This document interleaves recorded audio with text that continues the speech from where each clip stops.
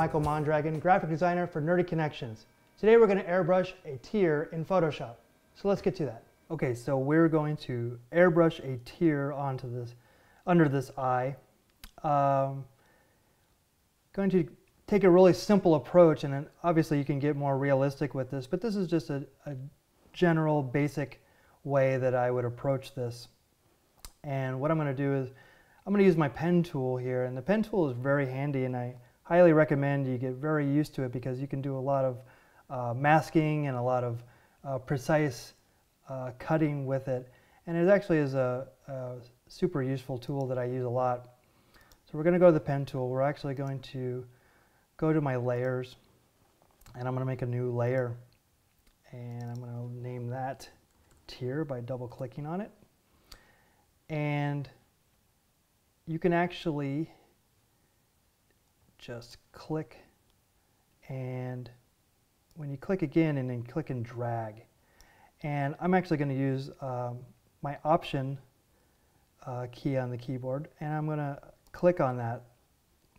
And that's going to take away one of the Bezier curves. And I'm going to click again and then drag it out. And option click again so take away that one side and we're going to click again drag. And that's not in the perfect position I want it. So I can actually on my keyboard my right arrow and now my up arrow. And I'm going to uh, option click again and I'm going to complete that teardrop right there. And what I'm going to do is I'm going to actually go to my uh, paths here and you see the work path. And I can actually command click on that layer and it makes a selection out of it. And what we're going to do is we're we're going to fill that with uh, I'm going to go back and I'm going to push D on the keyboard and I'm going to switch these colors back to white. And I'm actually going to fill um, this with a, a, solid color because I'm, I'm going to use this layer again. Uh, so what I'm going to do is I'm going to, with the foreground color, I'm going to fill that. So if I turn off this layer, there's my tear. So I'm going to deselect that right there. And what I'm going to do is I'm going to, I'm going to command click on that layer again and bring back uh, the selection. I'm actually going to make a new layer and this is going to be uh, the tear highlights. So I'm going to double click on that, name it tear highlights. And I'm going to turn off the, the layer below it. So it's actually just a, a blank selection. I'm going to go to the brushes up here and I'm actually going to make a, it's kind of a feathered brush here, but I need it to be a little bit larger. Um, and you don't want it to be hard because that would actually have a hard edge to it.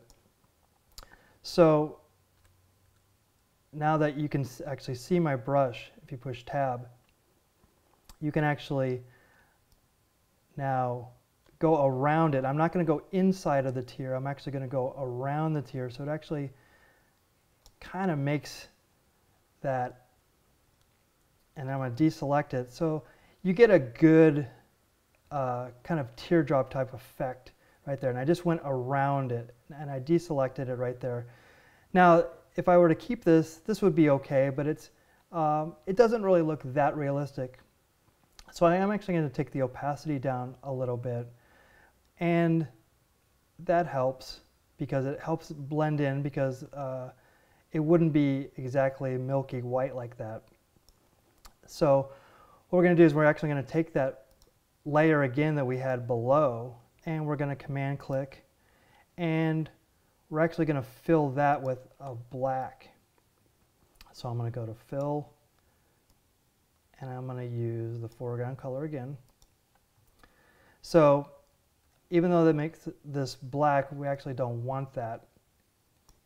Uh, we're actually going to duplicate this layer by dragging it and we have a copy of it. So I'm going to turn off the original black tear. We have the tear copy, so I'm going to make this the tear shadow. And we're just going to put a slight blur on that. and the Gaussian blur. And we're just going to make it very, very subtle. 7 would be okay. And we're going to take that opacity down quite a bit. Now, we don't want a black tear, obviously. So, so I'm going to take it over here. We're going to take that down just to get a very subtle shadow. We're actually going to command click on the above layer. So we're actually going to make that solid. And now we're going to, with the tear shadow layer, we're going to go to the mask and we're going to add a layer mask.